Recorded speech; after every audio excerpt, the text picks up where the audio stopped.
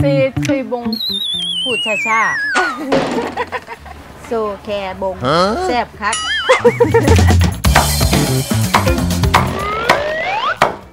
เคยเฮ็ดกับเขาวบ่นี่น้องโคอีเคยเนาะเฮ็ดอีหยังตำบักฮุงเฮ้ย หนูต้องดำลงไปอย่างนั้นเหรอ ใช่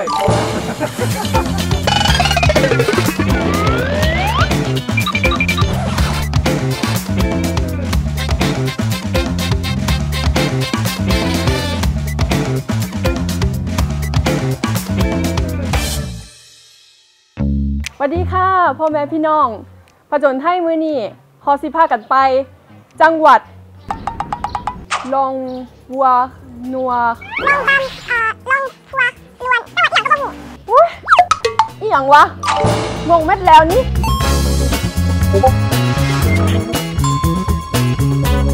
ถึงแล้วค่ะเพื่อน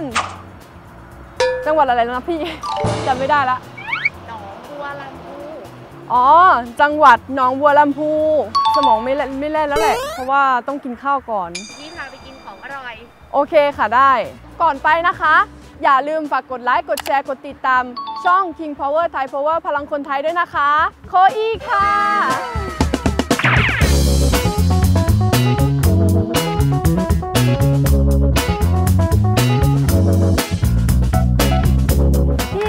อันนี้คืออะไรคะ มะกอกครับ รสชาติคล้ายๆเกาลัดครับ หน้าตาประมาณนี้นะคะ กลิ่นก็มันหอมอืมมันๆ แล้วก็เหมือนผลไม้ อร่อยค่ะ อันนี้อีกอย่างเกาะอันนี้เป็นลูกเพิงค่ะ ซิมเบิงว่าเป็นยังบ่เบียร์เป็นไงอืมได้อยู่ค่ายอีกอย่างเกาะพักกาดยา อันนี้ติจ้าโอ้ยบ่เคยเห็นเลยแซ่บป่ะแซ่บลองสิมบึงแซ่บบ่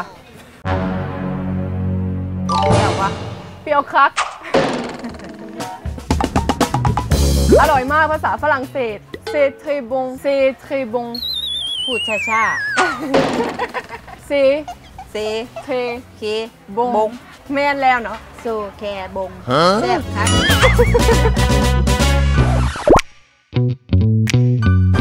โอ้โห เพื่อนๆ ข้างหน้าตอนนี้คือแบบมีของกินเพียบเลยอะเริ่มจากอันนี้กันก็ได้เขาเรียกว่าอะไรนะ เขาเรียกว่าไข่ขำค่ะ ไข่ผำเหรออ๋อผำ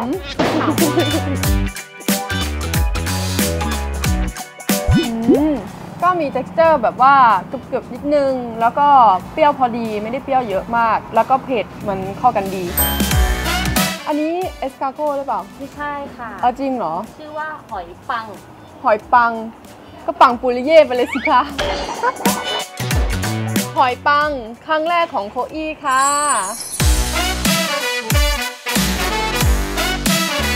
อืมโอ้ยอร่อย หอยปังเนี่ยต้องกินกับน้ำจิ้มตัวนี้ ถ้าเป็นเอสกาโกส่วนมากคนฝรั่งเศสเขาจะกินกับกระเทียมเนย แล้วก็จะมีพวกผักอะไรอย่างเงี้ยด้วย มันกินยังไงอะเค็มถ้ากินกับส้มตำหรือข้าวเหนียวอะ น่าจะได้ อร่อย และอันสุดท้ายกลิ่นก็หอมดีนะ ก็คั่วๆเป็นกลิ่นถั่ว มันคืออะไรคะสรุปเออพี่เขาเรียกเม็ดกระบอกเม็ดกระบอกบางคนเขาจะเรียกว่าอัลมอนด์อีสานพอแกะแล้วจะเป็นแบบนี้นะเฮ้ยอร่อยดีนะ มันทำให้นึกถึงแอลมอนด์แต่มันก็มันจะต่างจากแอลมอนด์ของฝรั่งเศส แต่ก็แต่ก็อร่อยเหมือนกันค่ะเราจะบอกว่าอาหารพื้นบ้านอีสานของไทย อร่อยไม่แพ้ชาติใดค่ะ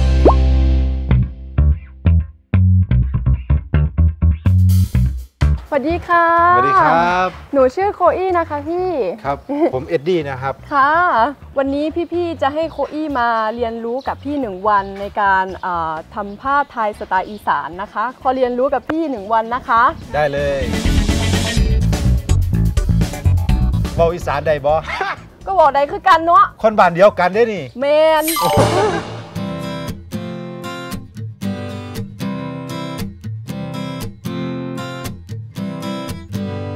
นนี่คือเป็นผ้าของแบรนด์เทวาผ้าไทยของเรา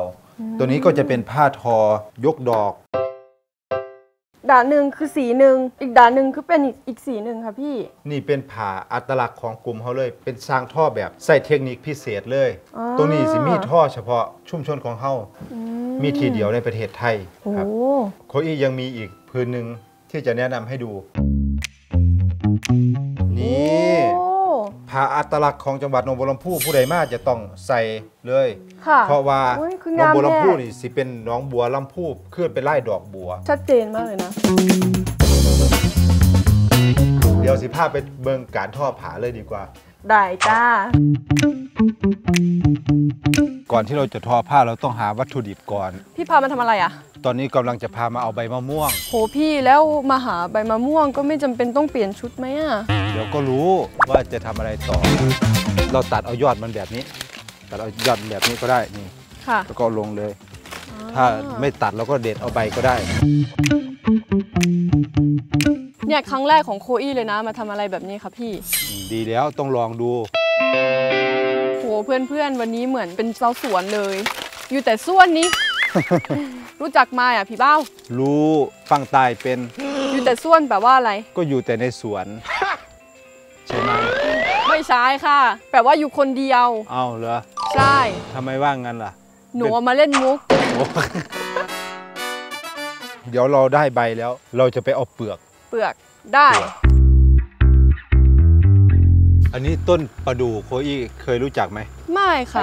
ก็คือต้นประดู่นี่จะเป็นไม้เนื้อแข็งจะมีเยอะมากในภาคอีสานค่ะตัวนี้มันจะให้สีมันจะออกมาเหมือนเลือดเลย จริงเหรอพี่ จริง เดี๋ยวเรามาดูกัน เราจะเอาเฉพาะเปลือกเพราะเดี๋ยวต้นมันตายโคอี้ดูเหมือนเลือดออกมันมาจะไหลเลยเลยไหมใช่ เลือดไม้หรือว่าเลือดพี่คะโอ้ เลือดไม้อ๋อมันทำให้นึกถึงยางเลยอะแต่ว่ายางมันก็สีขาวแหละ อันนี้ก็เป็นสีแดง อันนี้เราก็ได้วัตถุดิบสองอย่างแล้ว เดี๋ยวค่ะเราไปดูวัตถุดิบอันที่สาม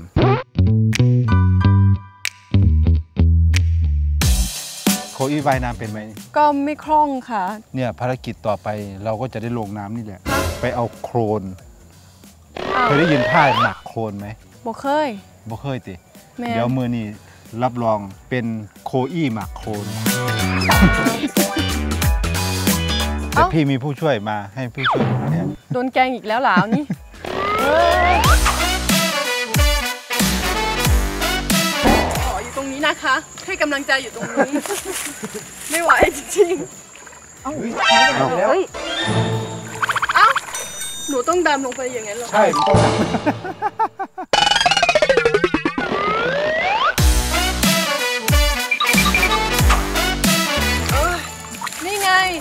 ริง ๆ มาแค่นี้ก็ก็ได้แล้วนะคะพี่ทำไมต้องเล่นใหญ่เอาไปตรงนู้นเลยอะไม่ตรงนู้นมันเจ๋งกว่าไง อ๋อมันคุณภาพดีกว่าตรงนี้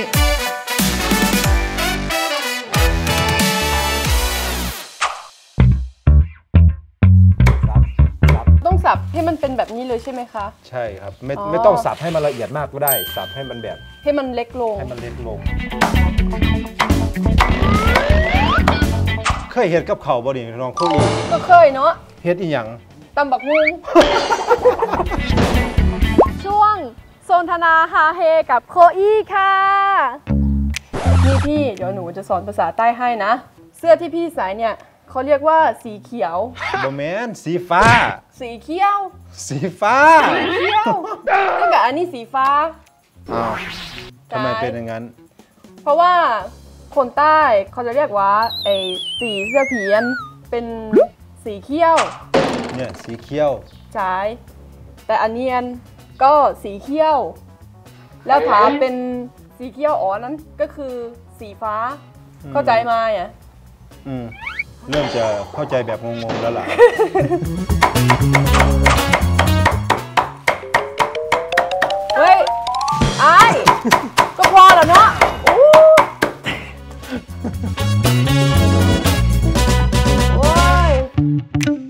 ไปเราจะมาทำกระบวนการย้อมแล้ว ตัวนี้คือวัตถุดิบที่น้องโคอี้สับๆตะกี้นี่ค่ะ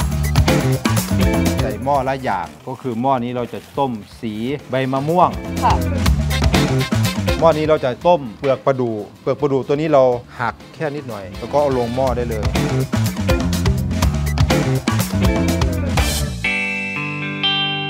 ขั้นตอนต่อไปเราก็จะมากรองกรองเอาน้ำ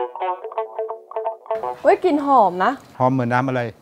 เหมือนโซดา น้ำผึ้งมะนาวอะ อ๋อ เดี๋ยวเดี๋ยวลองชิมดูว่ารสชาติมันจะเหมือนกันหรือเปล่า กินได้เหรอคะพี่ กินได้ ถ้ากล้ากินเอาลองชิมดูตายพอดีได้พอดีสรุปแล้วกลิ่นมันเหมือนอะไรคะ แต่พูดถึงก็เหมือนน้ำผึ้งนะ แล้วพี่รู้ไหมว่าน้ำผึ้งภาษาใต้คืออะไร เออ นั่นนะสิ น้ำตาลค่ะ น้ำตาล ใช่ แล้วน้ำตาลล่ะ ก็น้ำตาล ภาษาอังกฤษน้ำตาลเรียกว่าอะไร sugar sugar แล้วภาษาฝรั่งเศสล่ะ sucre sugar เวลาเราย้อมผ้าเราก็จะได้สีประมาณนี้เลยอันนี้จะเป็นขั้นตอนการย้อมแล้วทีนี้ อันนี้คือบ่วงย้อมฝ้าย เราก็ต้องจับแบบนี้เด้อ แล้วก็ยกขึ้นมา โชว์ เป็นไง ว้าว แล้วเราก็วางไว้ วางไว้ประมาณ 5-10 นาที เสร็จแล้วเราก็ต้องเอาไปทำขั้นตอนอื่นนี่จับจับแน่นๆเลย มันบ่ไป จับผิดวิธีแล้ว เอ้าวิธีเขาจับเขาต้องจับแบบนี้ เพื่อนๆ คะ คิดว่าครั้งนี้โคอีจะทำได้ไหมคะ นี่ ก็คงไม่ได้ นี่ใช่ ถึงกับมีรอดนี้แม่นี่ประโยคนึงสิบอกจ้าลาเคอุซิโอบุโดเดฟักยังก่อความพยายามอยู่ที่ไหนความสำเร็จก็อยู่ที่นั่นแต่ก็บอกภาษาฝรั่งเศสได้ แม่เบาได้อ่านิดหน่อยผาประจจนนไทไทยย ตัวโคนนี้มันจะเป็นตัวโมเดนหรือเป็นตัวฟิกสีนั่นเอง ให้สีนี่ติดทนนาน แต่เราก็ต้องคลี่มันออก เพื่อที่ให้เส้นใยกับโคนเข้ากันให้ทั่วถึง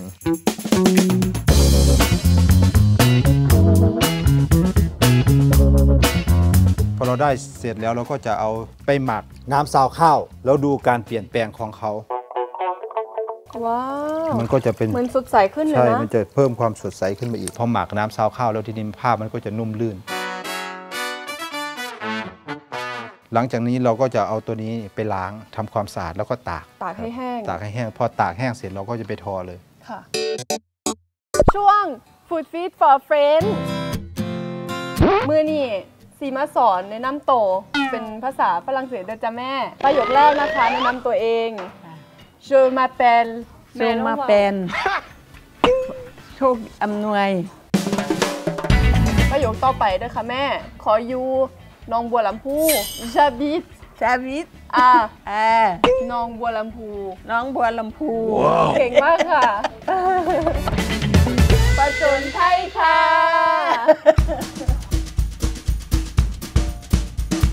อันนี้แม่ กำลังทำอะไรอยู่คะโคอี้ตกใจเห็น ไม้หลายไม้คือ อันนี้เป็นเครื่องทอผ้า ค่ะใช่ค่ะ เครื่องนี้มีมีชื่อไหมคะก็จะเอิ่นว่าสิบหาสกอร์อ๋อที่จ้ะผ่าก่อนโอ้โหนี่เป็นไม้เยอะขนาดนี้ก็น่ากลัวเหมือนกันนะดูเส้นตรงนี้ก็คือแบบ แล้วแม่ก็ทำไวมากเลยนะ ดูเหมือนง่ายแต่ยากนะเป็น คนบันไหน คนกระบี่เอ้าลูกเป็นคนที่ไหนอยู่เกาะมุ้ยค่ะอ๋ออยู่เกับมุ้ยสุราษฎร์หมันแม่พูดได้ได้เฉยเลยผันปื้ยไม่ท่ามเลยวันแรกตายได้ไหม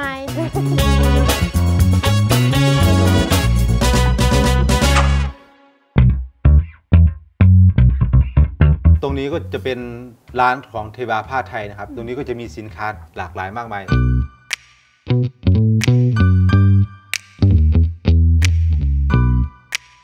นี่ตัวนี้โคอี้น่าจะใส่ได้ เพราะว่ามันเป็นกระโปรง จะลองใส่ดูนะคะว่าใส่ได้หรือเปล่า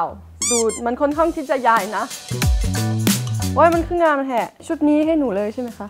ใส่ได้เอาไปเลย ว้าวว่าเองนะอืมอิลิติ จริง ว้าว แมนแล้ว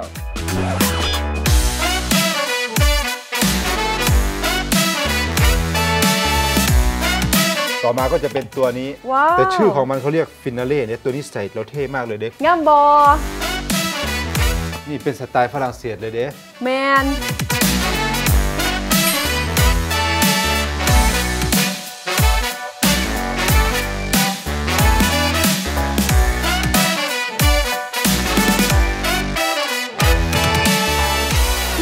ที่สนใจสินค้าดีๆ แบบนี้ คลิกเลยค่ะ thaipowermarket.co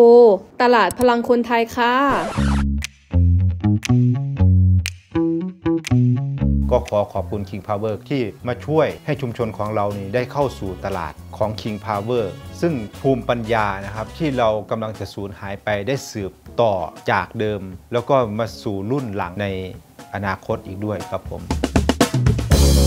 ก่อนจากกันไปนะคะ อย่าลืมฝากกดไลค์ กดแชร์ กดติดตาม ช่อง King Power Thai Power พลังคนไทยด้วยนะคะ แล้วข้าวหน้าจะไปผจญภัยกันที่ไหน ก็ฝากติดตามด้วยนะคะ ไปแล้วค่ะ บ๊ายบายผจญไทย